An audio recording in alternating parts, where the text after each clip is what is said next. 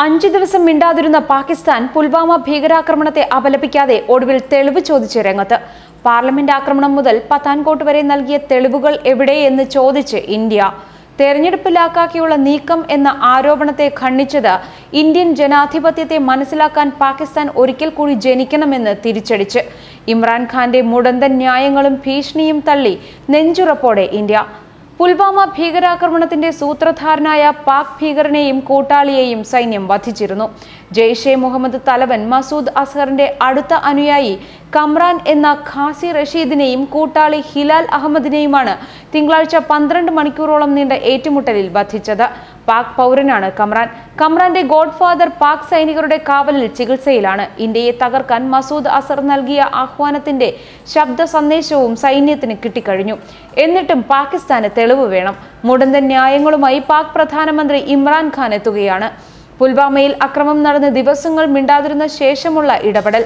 പാകിസ്ഥാൻ ദീർഘകാലമായി ഭീകര സംഘടനകളുടെ താവളമാണെന്ന വസ്തുത അംഗീകരിക്കാൻ ഇമ്രാൻ തയ്യാറല്ല. ഭീകരാക്രമണത്തിന്റെ ഉത്തരവാദിത്വം ജെയ്ഷെ മുഹമ്മദ് ഏറ്റെടുത്തത് അറിഞ്ഞില്ലെന്ന മട്ടിലാണ് തക്കതായ തെളിവ് തന്നാൽ നടപടിയെടുക്കാമെന്ന ഇമ്രാന്റെ നിലപാട്. പുൽവാമ ഭീകരാക്രമണത്തിൽ പാകിസ്ഥാന്റെ പങ്ക് വ്യക്തമാക്കുന്ന തെളിവ് ഇന്ത്യ നൽകാമെങ്കിൽ നടപടി എടുക്കാമെന്നും ഭീകരവാദത്തെക്കുറിച്ച് ഇന്ത്യയുമായി ചർച്ചയ്ക്ക് തയ്യാറാണെന്നും പാക് പ്രധാനമന്ത്രി ഇമ്രാൻഖാൻ പറയുന്നു.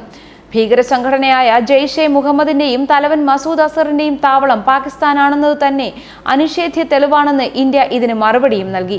അക്രമവും ഭീകരവാദവും ഇല്ലാത്ത അന്തരീക്ഷത്തിൽ ചർച്ചയാവാമെന്നും ഇന്ത്യ വ്യക്തമാക്കി. ആക്രമണത്തിന് ഇന്ത്യ ശ്രമിച്ചാൽ തിരിച്ചടിക്കുമെന്നും യുദ്ധം തുടങ്ങാൻ എളുപ്പവും അവസാനിപ്പിക്കാൻ പ്രയാസവുമാണെന്നും ഇമ്രാൻ പറഞ്ഞു. പുൽവാമ ചാവേർ സ്ഫോടനം നടന്ന് അഞ്ച് ദിവസത്തിനു ശേഷം നടത്തിയ പ്രസ്താവനയിൽ പക്ഷേ ഭീകരാക്രമണത്തെ അപലപിക്കാൻ പാക് പ്രധാനമന്ത്രി തയ്യാറായിട്ടില്ല.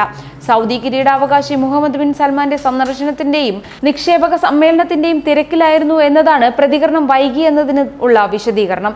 ഭീകരാക്രമണവുമായി ബന്ധമില്ലെന്ന് വാദിക്കുന്നത് പാകിസ്ഥാന്റെ പതിവ് രീതിയാണെന്ന് ഇന്ത്യയുടെ വിദേശകാര്യ മന്ത്രാലയം കുറ്റപ്പെടുത്തി. മുംബൈ ഭീകരാക്രമണത്തെക്കുറിച്ച് തെളിവ് നൽകി പത്ത് വർഷം കഴിഞ്ഞിട്ടും അന്വേഷണം പുരോഗമിച്ചിട്ടില്ല. പത്താൻകോട്ട് വ്യോമത്താവള ആക്രമണ കേസിലും പുരോഗതിയില്ല. പൊതു തെരഞ്ഞെടുപ്പുമായി ബന്ധപ്പെടുത്തി ഇന്ത്യക്കെതിരെ ഉന്നയിക്കുന്ന ആരോപണം വ്യാജമാണ്. ഇന്ത്യയുടെ ജനാധിപത്യം ലോകത്തിന് മാതൃകയാണെന്നും അത് പാകിസ്ഥാന് ഒരിക്കലും മനസ്സിലാവില്ല എന്നും മന്ത്രാലയം വ്യക്തമാക്കി. ഒഴിഞ്ഞുമാറലും ന്യായീകരണവും വെല്ലുവിളിയും ചേർന്നതാണ് പുൽവാമ ഭീകരാക്രമണത്തെക്കുറിച്ച് പാകിസ്ഥാൻ പ്രധാനമന്ത്രി ഇമ്രാൻഖാന്റെ പ്രതികരണമെന്നാണ് പൊതുവെയുള്ള വിലയിരുത്തൽ. ന്യായവാദങ്ങളുടെ പൊള്ളത്തരം തുറന്നുകാട്ടിയ ഇന്ത്യ യുദ്ധത്തിനുള്ള വെല്ലുവിളിയോട് പ്രതികരിക്കാൻ തയ്യാറായില്ല. കശ്മീരിലെ സ്ഥിതിയെക്കുറിച്ച് ഇമ്രാൻ ഉന്നയിച്ച വിമർശനങ്ങളോടും ഇന്ത്യ പ്രതികരിച്ചില്ല. പാകിസ്ഥാനും ഭീകരവാദത്തിന്റെ വലിയ ഇരയാണെന്നതിന്റെ കണക്കു നിരത്താനാണ് ഇമ്രാൻ ശ്രമിക്കുന്നത്. ഇന്ത്യയുടേത് തെരഞ്ഞെടുപ്പിലാക്കാക്കിയുള്ള നീക്കം എന്ന ഇമ്രാന്റെ ആരോപണത്തെ ഖണ്ഡിച്ചത് ഇന്ത്യൻ ജനാധിപത്യം മനസ്സിലാക്കാൻ പാകിസ്ഥാൻ ഒരിക്കൽ കൂടി ജനിക്കണമെന്ന് തിരിച്ചടിച്ചാണ്. ഒരു വശത്ത് ഭീകരാക്രമണവും മറുവശത്ത് ചർച്ചയും എന്നത് നടപ്പുള്ള കാര്യമല്ലെന്നാണ് ഇന്ത്യയുടെ നിലപാട്.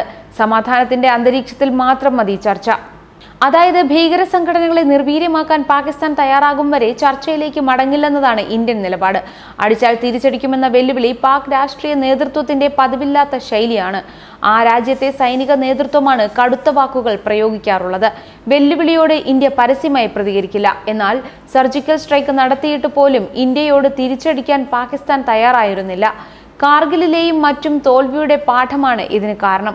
കശ്മീരിൽ തോക്കെടുക്കുന്നവരെ തുടച്ചു നീക്കുമെന്ന് ഭീകരർക്ക് സൈന്യത്തിന്റെ അന്ത്യശാസനം പുറത്തു വന്നിരുന്നു.